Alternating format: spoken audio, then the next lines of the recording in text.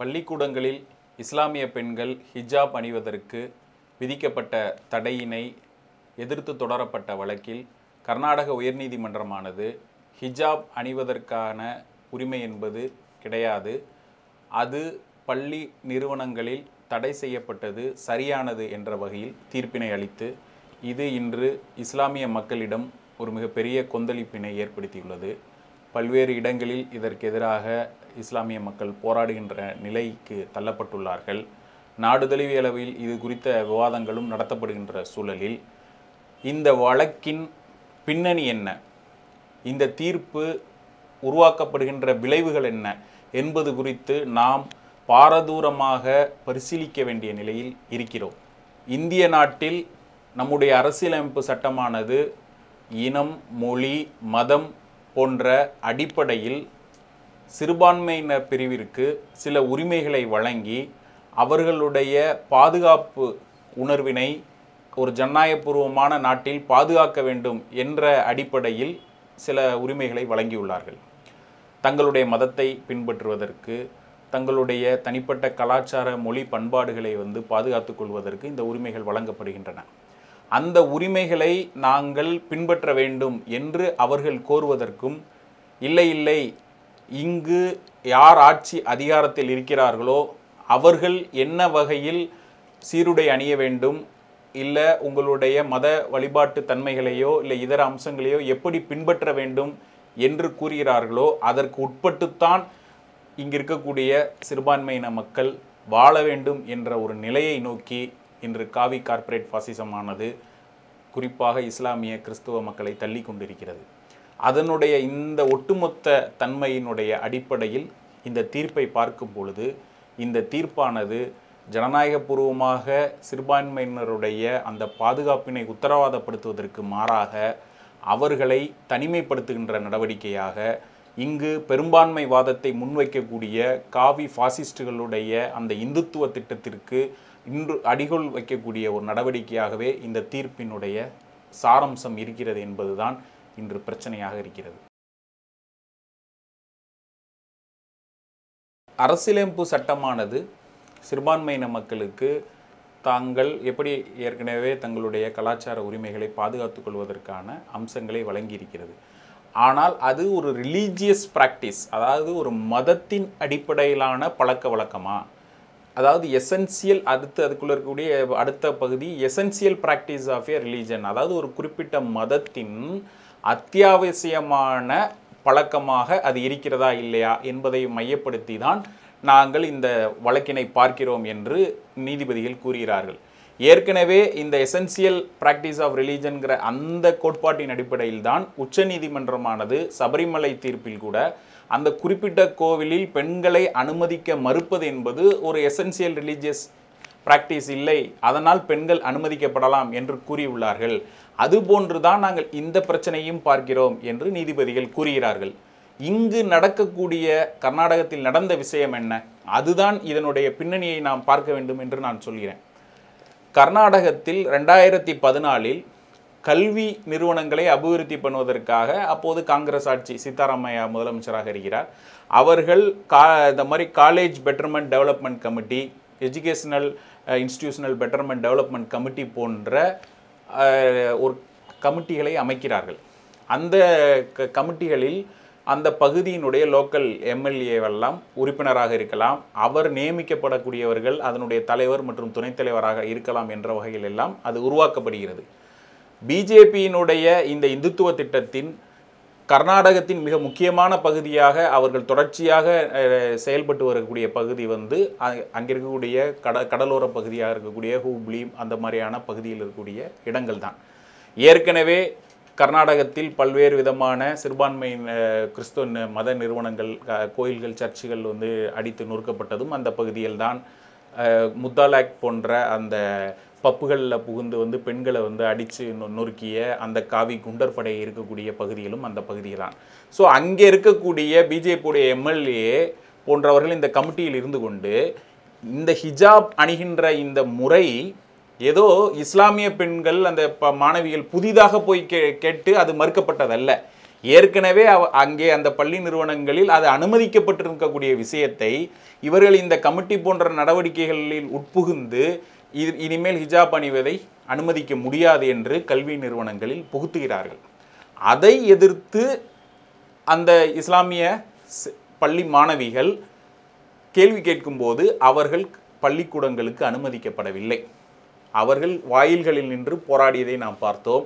அந்த போராட்டங்களை பயன்படுத்தி ஆர்எஸ்எஸ்னுடைய ஏபிவிபி போன்ற மாணவ குண்டர் படைகளையும் அதில் இருக்கக்கூடிய அந்த அப்பாவியான மாணவர்கள் அதாவது அந்த இளம் பருவத்தில் கிளர்ச்சிகரமாக இருக்கக்கூடிய அந்த சிந்தனையில் அவர்களுக்கெல்லாம் காவி துண்டுகளையும் தலையில் தலைப்பாகையும் வைத்து எதிர் போராட்டங்களை நடத்தி திட்டமிட்ட வகையில் ஒரு கலவர சூழலை உருவாக்குகிறார்கள். இதற்கு முழுக்க பிஜேபி ஆர்எஸ்எஸ் தொன்ன நபர்களும் உள்ளூரில் இருக்கக்கூடிய அதிகாரிகளும் துணை போய் இப்படிப்பட்ட நடவடிக்கைகளை பயன்படுத்துகிறார்கள். இந்த நட இந்த சூழலை பயன்படுத்தி கர்நாடக அரசு என்ன செய்கிறது? இது பொது ஒழுங்குக்கு அமைதிக்கு பிரச்சனையாகிறது. இந்த ஹிஜாப் அணிகின்ற நடவடிக்கை என்பது பள்ளிக்கூடங்கள் என்பது குவாலிஃபைடு பப்ளிக் ஸ்பேஸ் அது வந்து ஒரு பொது இடத்தை ஒரு அபிவிருத்தி செய்யப்பட்ட ஒரு இடமாக இருப்பதனால் அங்கு இந்த மாதிரி ஹிஜாப் அணிவது போன்றதெல்லாம் அனுமதிக்க முடியாது. இப்படி அனுமதித்தால் இப்படி கலவர பிரச்சனை வருகிறது. அதனால் ஒரு அரசு ஆணையின் மூலமாக கர்நாடகத்தின் அனைத்து கல்வி நிறுவனங்களிலும் இது அனுமதிக்க முடியாது என்று அவர்கள் பொது உத்தரவை பிறப்பிக்கிறார்கள். இந்த பொது உத்தரவு என்பது உங்களுக்கு தெரியும் கல்லூரி நிறுவனங்கள்லாம் அடைக்கப்பட்ட பிரச்சனைகள்லாம் நடந்ததுக்கு அப்புறம் இது உயர்நீதிமன்றத்திற்கு அந்த பள்ளி மாணவிகள் சிலர் வழக்கு தொடரும்போது அந்த வழக்கில் உடனடியாக இடைக்கால தடையினை வழங்குவதற்கு மாறாக ஏற்கனவே பின்பற்றப்படுகின்ற ஒரு பழக்கத்தை அரசு நிறுத்துகின்ற நடவடிக்கையை தடை செய்வதற்கு பதிலாக அப்போவே உயர்நீதிமன்றம் என்ன செய்தது? ஹிஜாப் அணிவதை தடை செய்து கல்வி நிறுவனங்களை நீங்கள் நடத்துங்கள். அந்த மாணவிகள் படித்தாலும் படிக்காதவிட்டாலும் அதை பற்றிய பிரச்சனை இல்லை என்ற கோணத்தில் அணுகிவிட்டு இந்த வழக்கு விசாரணையை நடத்தி இந்த தீர்ப்பினை வழங்கியிருக்கிறார்கள். அப்போ காவி கார்ப்பரேட் அந்த ஃபாசிச சிந்தனை கொண்ட பிஜேபி ஆர்எஸ்எஸ் போன்றவர்கள் தங்களுடைய அரசு அதிகாரத்திலையும் புதிய கமிட்டிகளையும் போய் உட்கார்ந்து கொண்டு இப்படி ஹிஜாப் அணிவதை தடை செய்கின்ற நடவடிக்கையும் தான் இந்த பிரச்சனையினுடைய துவக்கமாக இருக்கிறது. ஆனால் அதற்கு மாறாக இந்த பிரச்சனையை ஏதோ இஸ்லாமிய அந்த மாணவிகள் செய்தார்கள் அவர்களுக்கு பின்னாடி இருக்கக்கூடிய இஸ்லாமிய அமைப்புகள் செய்தார்கள் அவர்கள் மேலெல்லாம் நாம் வந்து இன்று நாடுதழுவிய அளவில் விசாரணை நடத்த வேண்டும் என்ஐஏ போன்றவர்கள் அமைப்புகளை பயன்படுத்தி என்ற வகையில் எல்லாம் ஆர்எஸ்எஸ் காரர்கள் பேசுகின்ற அளவிற்கு இந்த பிரச்சனையை அவர்களுக்கு எதிராக திருப்பி இன்று இஸ்லாமிய மாணவிகளுடைய அந்த ஹிஜாப் அணிகின்ற அந்த தன்மையை பறிக்கக்கூடிய நடவடிக்கைக்கு உயர்நீதிமன்றமானது ஒத்துதியுள்ளது உச்சநீதிமன்றம் உயர்நீதிமன்றங்கள் எல்லாம் இன்று ஒன்று விஷயத்தை நமக்கு மீண்டும் மீண்டும் தெளிவாக்கி கொண்டு வருகிறார்கள். அரசியல் அமைப்பு சட்டத்தின் அடிப்படையில் வியாக்கியானம் செய்கின்ற தங்களுக்கு கொடுக்கப்பட்ட அந்த அதிகாரத்தை பயன்படுத்தி பெரும்பான்மைவாதத்தை முன்வைக்கக்கூடிய மத அடிப்படைவாதத்தை முன்வைக்கக்கூடிய ஆர்எஸ்எஸ் போன்ற அமைப்புகள் அவர்கள் பல்வேறு பெயர்களில் இயங்குகின்றார்கள். அவர்களுடைய நடவடிக்கைகள் அவர்கள் பிரச்சனையை செய்யும் போதெல்லாம் அதற்கு உட்பட்டு அவ தகுந்த மாதிரியான அந்த இந்துத்துவத்தை நிலைநாட்டுகின்ற வகையில் தீர்ப்புகளை அளிப்பதும் அவர்கள் சிறுபான்மைய மக்களுடைய உரிமைகளை நசுக்குகின்ற வகையில் சில கோரிக்கைகளையும் சில மாற்றங்களையும் முன்வைக்க வேண்டும் என்று சொல்லும் பொழுது அதை அரசியலமைப்பு சட்டத்தினை வியாக்கியானம் படுத்தி அதை மறுப்பதும் என்ற நடவடிக்கையானது நடக்கிறது. அப்போ நாம் ரெண்டு மூணு உதாரணங்கள் எடுத்துக்கொள்ளலாம். அயோத்தி தீர்ப்பு அனைவருக்கும் தெரிந்த விஷயம். எங்களுடைய நம்பிக்கை ராமர் பிறந்தார் என்ற ஒரு அடிப்படையை வைத்துதான் அந்த வழக்கினை ஒரு ஐந்து நீதிபதிகள் கொண்ட அமர்வு முழுமையாக இரண்டு பங்கு இந்துக்களுக்கு என்ற பெயரில் இன்று அது இந்துத்துவ சக்திகளின் கையில் போய் இன்னைக்கு உத்தரப்பிரதேச தேர்தலில் ராமர் கோயில் கட்டுவோம் ராமர் கோயிலை கொண்டு வந்து விட்டார்கள் என்ற அந்த ஒரு முழக்கத்தின் அடிப்படையில் மோடியும் யோகி ஆதித்யநாத்தும் வெற்றி பெறுவதற்கு கூட இந்த அயோத்தியுடைய தீர்ப்பு அதனுடைய செயல்பாடுகள் அமைந்துவிட்டன சபரிமலை வழக்கில் பெண்களை அனுமதிக்க கூடாது என்று களத்தில் நின்று ஆர்எஸ்எஸ் குண்டர்கள் மக்களை திரட்டி போராடினார்கள் பிரச்சனை செய்தார்கள். மத்திய உள்துறை அமைச்சர் அமித்ஷா உட்பட அனைவரும் நீதிமன்றங்கள் பார்த்து தீர்ப்பு வழங்க வேண்டும் என்று எச்சரிக்கை செய்த பின்பு என்ன நடந்தது? அந்த வழக்கை நான் ஒரு ரிவ்யூ பெட்டிஷன் சீராய்வு மனுவை வந்து வைத்துக்கொண்டு அந்த வழக்கையும் அரசியலமைப்பு சட்டம் இன்னும் வந்து இதை விரிவாக விசாரிக்க வேண்டும் என்ற அந்த அமர்வுக்கு மாற்றுகிறோம் என்று இன்று அதையும் இன்று வந்து நடைமுறைக்கு போக விடாமல் தடுத்து விட்டார்கள். அப்போ இப்படிப்பட்ட நடவடிக்கைகள் என்பது உச்சநீதிமன்றம் உயர்நீதிமன்றங்கள் அப்பட்டமாக இந்துத்துவ சக்திகளுக்கு ஆதரவான நிலைகளை அரசியலமைப்பு சட்டத்தை பயன்படுத்தி எடுப்பதும் இந்துத்துவ திட்டத்தின் அடிப்படையில் அவர்கள் முன்னேறி த தாக்குதல் தொடுக்கும் போது அதற்கு தகுந்தவாறு அரசியலமைப்பு சட்டத்தை விள வியாக்கியானம் செய்து இஸ்லாமிய மக்களுடைய உரிமைகளையும் இதர பிற்படுத்தப்பட்ட ஒடுக்கப்பட்ட மக்களுடைய உரிமைகளையும் பறிப்பது என்ற வகையில்தான் இப்படிப்பட்ட இரண்டகத்தன்மையோடு நீதிமன்றங்கள் செயல்படுகின்றன. இது இன்னொரு தெளிவான உண்மையை நமக்கு மீண்டும் உணர்த்துகின்றது. சட்டத்தின் வாயிலாக நீதிமன்ற தீர்ப்புகளின் வாயிலாக ஃபாசிசத்தை ஒருபோதும் தடுக்க முடியாது. அவர்கள் நம்முடைய உரிமைகளை ஒவ்வொன்றாக பறித்து கொண்டிருக்கிறார்கள்.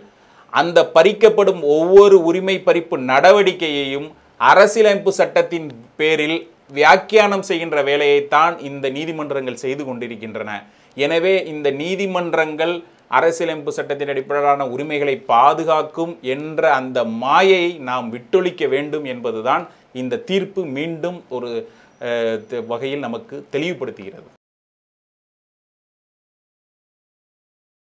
இந்த தீர்ப்பு இப்படிப்பட்ட ஒரு கலவர பிரச்சனையை உருவாக்கி அரசு அதிகாரத்தை பயன்படுத்தி பிஜேபி ஆர்எஸ்எஸ் தான் செய்கிறது என்பது அப்பட்டமாக தெளிவாக நீதிபதிகளுக்கு தெரியும்.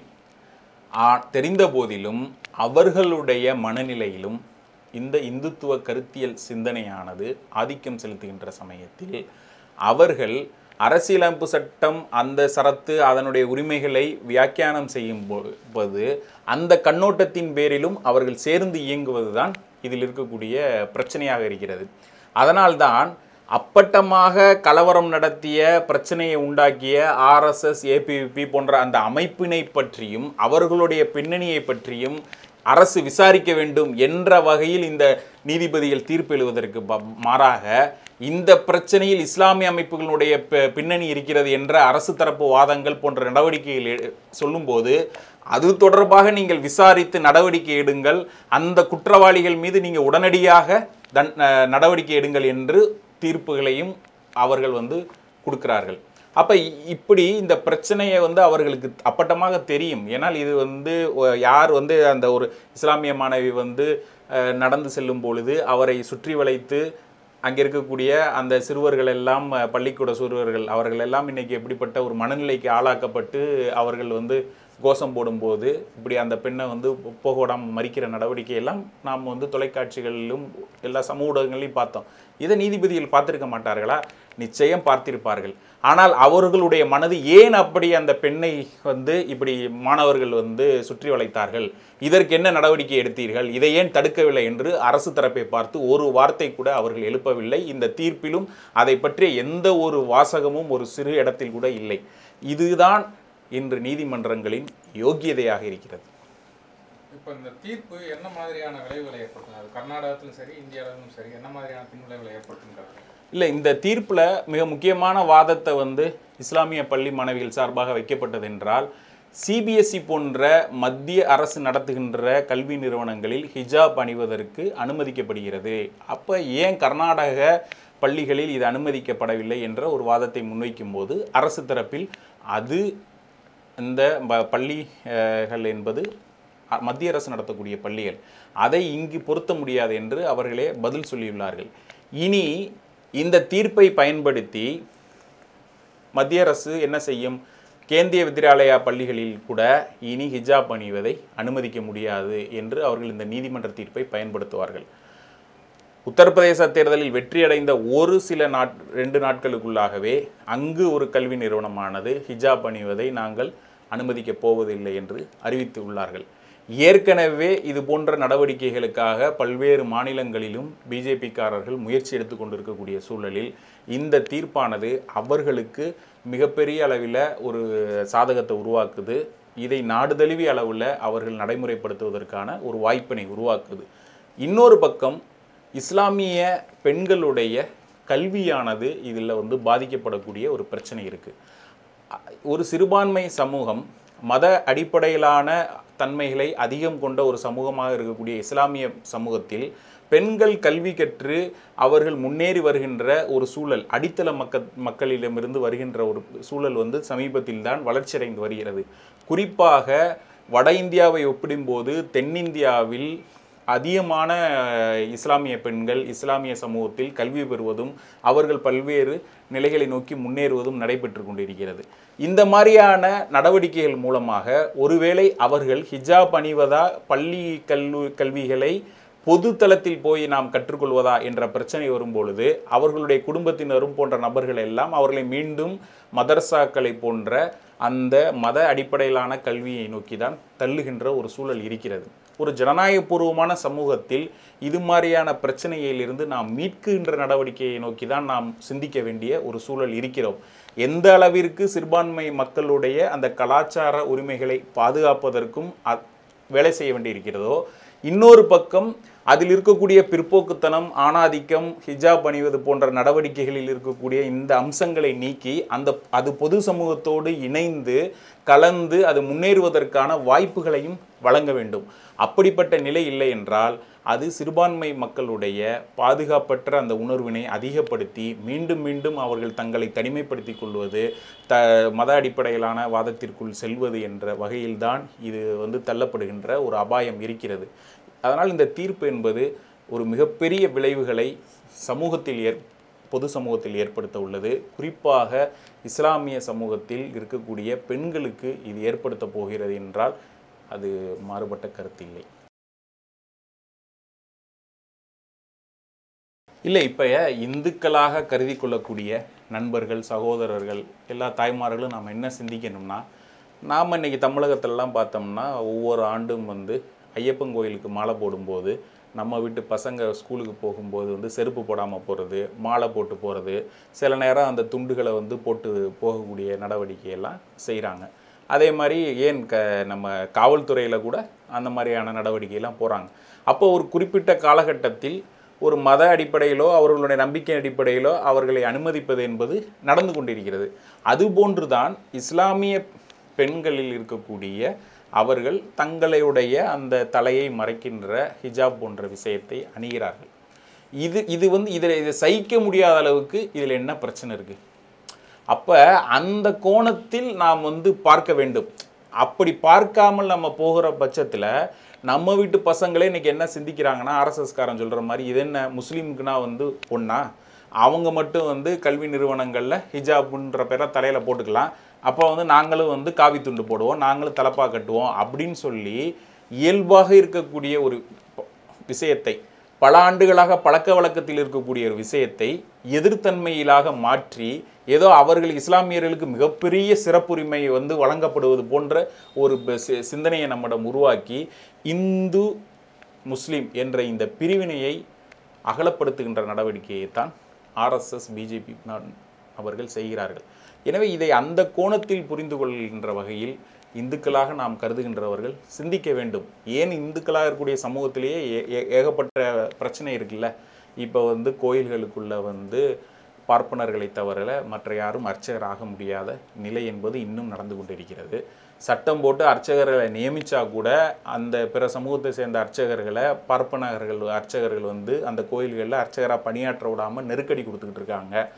இப்படிப்பட்ட சூழல் நிலவுது. அதற்கு எதிராக உயர்நீதிமன்றத்தில் வழக்கு தொடர்ந்து நாங்கள் தான் அர்ச்சகராக இருப்போம். இது பாரம்பரிய வழியில் நாங்கள் மட்டும்தான் இருப்போம். இது எங்களுடைய நம்பிக்கை எங்களுடைய ஆகமம் அப்படி இப்படின்னு இன்னைக்கு வரைக்கும் அந்த ஆதிக்கத்தை நிலைநாட்டி கொண்டிருக்கிறார்கள். இன்னொரு பக்கம் நம்முடைய சமூகத்திலேயே பார்த்தீங்கன்னா ஒரு குறிப்பிட்ட சமூக பிரிவினர்கள் த தங்களுக்கு ஏற்ப வந்து நாமம் போடுவது பூநூல் போடுவது நாம் சாதாரண மக்களுக்கும் அவர்களுக்கும் எவ்வளோ வேறுபாடுகள் பஞ்சகச்சம் கட்டிக்கிட்டு வந்து போகிறது வெளியிலேயே வந்து சட்டை இல்லாமல் வந்து அலைகிறது இப்படிப்பட்ட சமூகத்தையும் நாம் வந்து அங்கீகரிச்சுக்கிட்டு தான் வாழ்ந்துக்கிட்டு இருக்கிறோம்.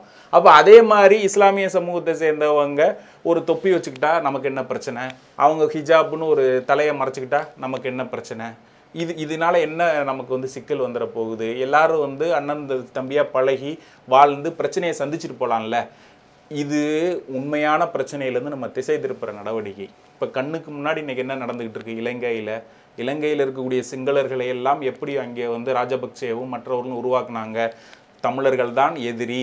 தமிழன் தான் நாட்டுக்கு வந்து பிரச்சனை அப்படின்னு சொல்லி அவ்வளவு வந்து இன அழிப்பை நடத்திய அந்த சிங்கள மக்கர்கள் ராஜபக்சேவை ஒட்டுமொத்தமாக தேர்வு செய்தவர்கள் இன்றைக்கி வந்து பத்தாயிர கணக்கில் வந்து அதிபர் மாளிகையை முற்றுகையிட்டு போராடிக்கிட்டு இருக்காங்க. எதுக்கு? எங்களுக்கு ரொட்டி இல்லை பெட்ரோல் டீசல் இல்லை பல மணி நேரம் நான் காத்து கிடக்கணும்னு சொல்லி. அப்போ இனத்தின் பேரிலோ மதத்தின் பேரிலோ நாம் இப்படி பிரிவினையாக்கப்பட்டு நம்முடைய சிந்தனைகள் வந்து சிதறடிக்கப்படும் போது மையமான நம்முடைய வாழ்வாதார பிரச்சனை அடிப்படை பிரச்சனையிலிருந்து நம்ம திசை விலகி போகிறோம் அப்படின்றது தான் மிக முக்கியமானது. அப்போ நாம் இந்து முஸ்லீம்னு இப்படி சண்டை போட்டுக்கிட்டு இருப்போம். அன்பானியும் அதானியும் நம்முடைய வளங்களையும் நான் எல்லாத்தையும் கொள்ளையடிச்சிட்டு போவோம் அப்படின்ற சூழல் இருக்கு இல்லையா? இதை நாம் புரிஞ்சுக்கொள்ளணும் அப்படின்றது தான் நாம் இந்து சகோதரர்கள் சிந்திக்க வேண்டிய விஷயமாக இருக்கிறது.